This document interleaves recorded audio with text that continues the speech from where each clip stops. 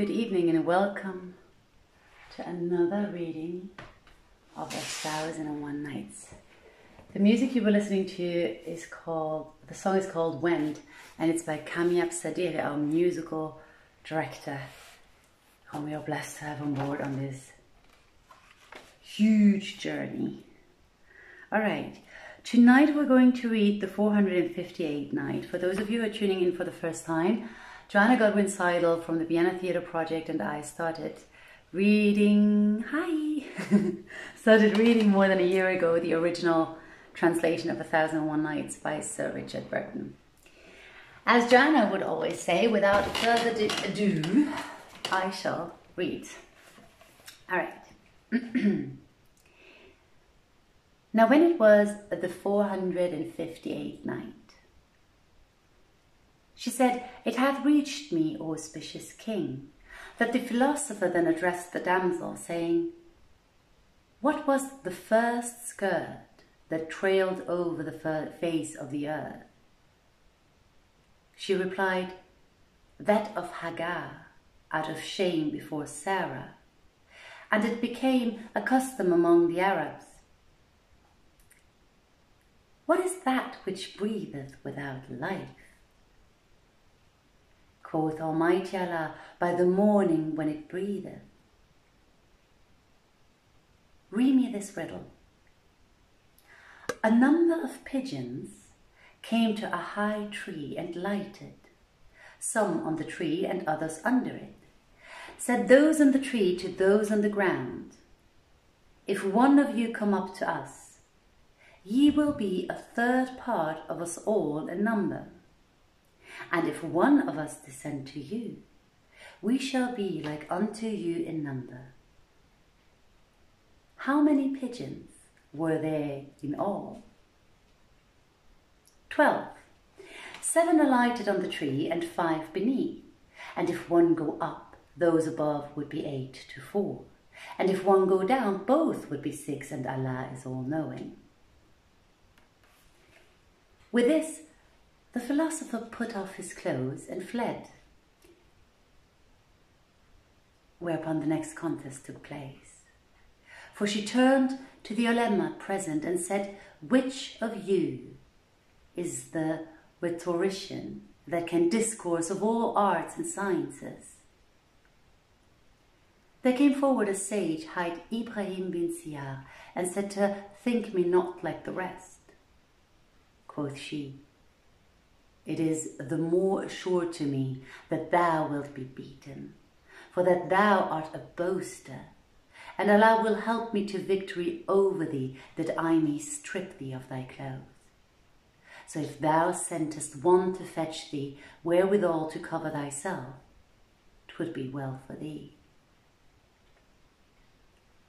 Cried he, By Allah, I will assuredly conquer thee and make thee a byword among the peoples, generation after generation. Rejoined she, Do penance in advance for thy broken oath.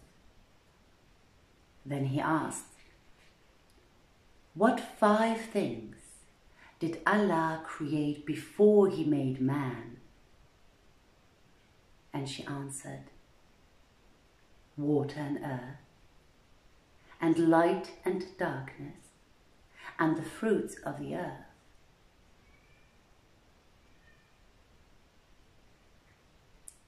What did Allah create with the hand of omnipotence? The arsh, throne of God, or the imperial heaven, and the tree, Tuba, and Adam, and the Garden of Eden. These Allah created with the hand of His omnipotence. But to all other created things he said, Be, and they were. Who is thy father in Al Islam? Muhammad, whom Allah bless and preserve. Who was the father in Al Islam of Muhammad? Abraham, the friend of God. What is the faith of Al Islam? The professing that there is no God but the God, and that Muhammad is the apostle of God. What is thy first and thy last? My first is man's seed in the shape of foul water, and my last filthy carrion. The first of me is dust, and the last of me is dust. Quoth the poet, Of dust was I created, and man did I become, in question ever ready, and I fluent in reply. Then I unto the dust returned, became of it again. For that in very deed of dust at first create was I. He continued, What thing was it whose first state was wood and its last life? Moses' staff, when he cast it on the valley ground, and it became, by permission of Allah, a writhing serpent what is the meaning of the word of the Lord? And I have other occasion for it. He, Moses, was wont to plant his staff in the ground, and it would flower and fruit and shade him from the heat and from the cold. Moreover, it would carry him when he was weary, and whilst he slept, guard his sheep from lions and wild beasts. What woman was born of a man alone? And what man of a woman alone? Eve of Adam and Jesus of Mary. Tell me of the four fires. What fire eateth and drinketh? What fire eateth but drinketh not? What fire drinketh but eateth not? and what other neither eateth nor drinketh. The fire of the world eateth but drinketh not. The fire which eateth and drinketh is hell fire. The fire of the sun drinketh but eateth not. And the fire of the moon neither eateth nor drinketh. Which is the open door and which the shut? The traditional ordinances are the open door, the Quranic the shut door. Of what doth the poet speak when he saith, And dweller in the tomb whose food is at his head, when he eateth of that meat, of words he waxeth vain. He riseth and he walketh, and he talketh without tongue, and returneth to the tomb where his kith and kin are lain. No living wife is he, yet in honour he abides, nor dead, yet he deserveth that Allah him assain. She replied, The reed pen. Quoth he, What doth the poet refer to in these verses? Two vests in one, blood flowing easiest wise, rosy red ears and mouth wide open lies. It hath a cock-like form, its belly peaks, and if you price it half a dirham buys. She replied, the ink case. Quoth he, and in these, Ho, say to man of wisdom, wit, and lore, to sapient, reverent, clever counsellor, tell me, what was't you saw that bird bring forth, when wandering Arab land and Ajam over? No flesh it beareth, and it hath no blood, nor down, nor any feathers ever it wore. Tis eaten cooked, and eke tis eaten cold, tis eaten buried beneath the flames that war. It showeth twofold colours, silver white, and yellow brighter than pure golden ore. Tis not seen living, or we count it dead, so read my riddle, rich in marvel store. She replied, Thou makest longsome the questioning, anent an egg worth a mite. And this? I waved to and fro, and he waved to and fro, with a motion so pleasant, now fast and now slow. and at last he sunk down on my bosom of snow. Your lover friend? No friend, my fan, said she. How many words did Allah speak to Moses? It is related of the apostle that he said God spoke to Moses 1515 words. Tell me of 14 things that speak to the Lord of the worlds,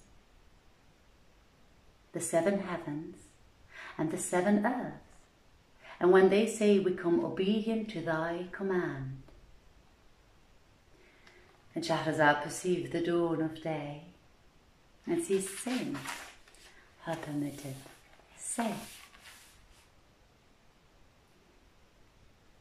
Now when it was the 459th night, she said, It hath reached me, auspicious king, that when the damsel made the answer, the philosopher continued, Tell me of Adam and how he was first created.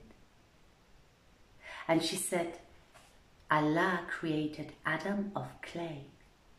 The clay he made of foam, and the foam of the sea. The sea of darkness, darkness of light, light of a fish, the fish of a rock, the rock of a ruby, the ruby of water, and the water he created by his omnipotence, according to his saying, exalted be his name. His commandment when he willeth all, is but to say, Be, and it is. What is meant by the poet in these verses?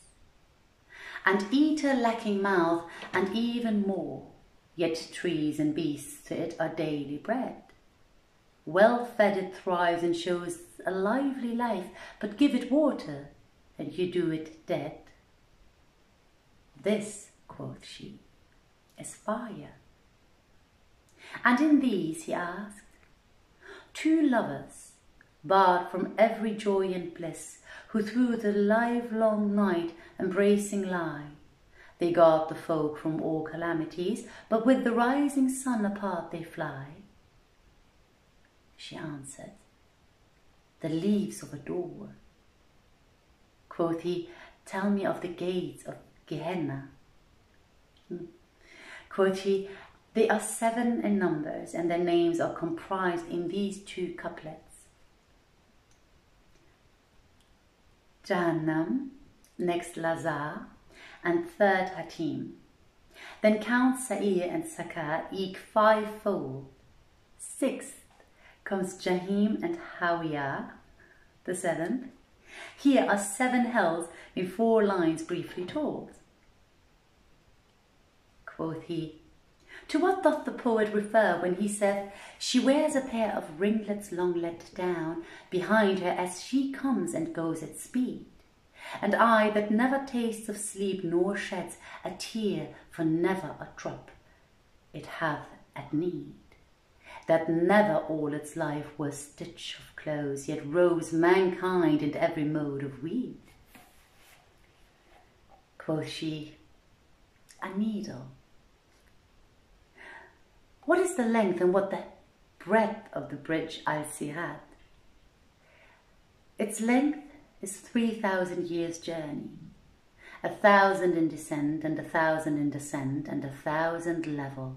It is sharper than a sword, and finer than a hair. And Shahrazad perceived the dawn of day, and ceased to say her permitted say.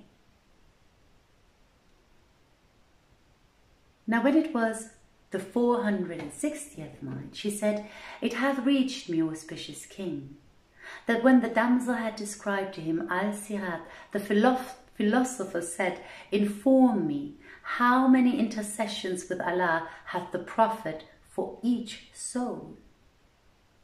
Three. Was Abu Bakr the first who embraced Al-Islam? Yes. Yet Ali became a Muslim before him Ali came to the Prophet when he was a boy of seven years old. for Allah vouchsafed him knowledge of the way of salvation in his tender youth, so that he never prostrated himself to idols. Quoth he, Tell me, which is the more excellent, Ali or Abbas? Now she knew that in propounding this question, Ibrahim was laying a trap for her. For if she said Ali is more excellent than Abbas, she would lack excuse with the Caliph for undervaluing his ancestor. So she bowed her head a while, now reddening, then paling, and lastly said, Thou askest me of two excellent men, each having his own excellence let us return to what we were about. When the Caliph Harun al-Rashid heard her, he stood up and said, Thou hast spoken well, by the Lord of the Kaaba, O Tawaddud. Then, quoth Ibrahim, the rhetorician, what means the poet when he saith, Slim-waisted one, whose taste is sweet as sweet, like as the lance whereon no head we scan, and all the lieges find it work them weal, eaten of afternoon in Ramazan. She answered, The sugar cane. And he said, Tell me of many things. Asked she, What are they? And he said, What is sweeter than honey? What is sharper than a sword? What is swifter than poison. What is the delight of a moment, and what the contentment of three days? What is the pleasantest of days? What is the joy of a week? What is that death the worst debtor denieth not? What is the prison of the tomb? What is the joy of the heart? What is the snare of the soul? What is death and life? What is the disease that may not be healed? What is the shame that may not be wiped off? What is the beast that wanteth not in cultivated fields, but lodgeth in waste places, and hateth the son of Adam, and hath in him somewhat of the make of seven strong and violent beasts? Quoth she, Hear what I shall say in reply. Then put off thy clothes, that I may explain to thee. And the Caliph said, Expound, and he shall doff his clothes. So she said, Now that which is sweeter than honey is the love of pious children to the two parents.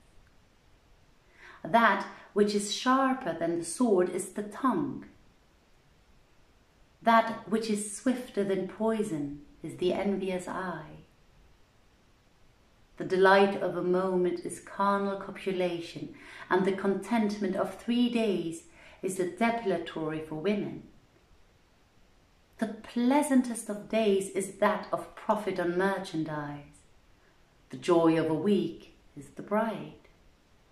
The debt which the worst debtor denieth not is death. The prison of the tomb is a bad son. The joy of the heart is a woman obedient to her husband, and it is said also that when flesh meat descendeth upon the heart, it rejoiceth therein. The snare of the soul is a disobedient slave. Death in life is poverty. The disease that may not be healed is an ill nature and the shame that may not be wiped away is an ill daughter.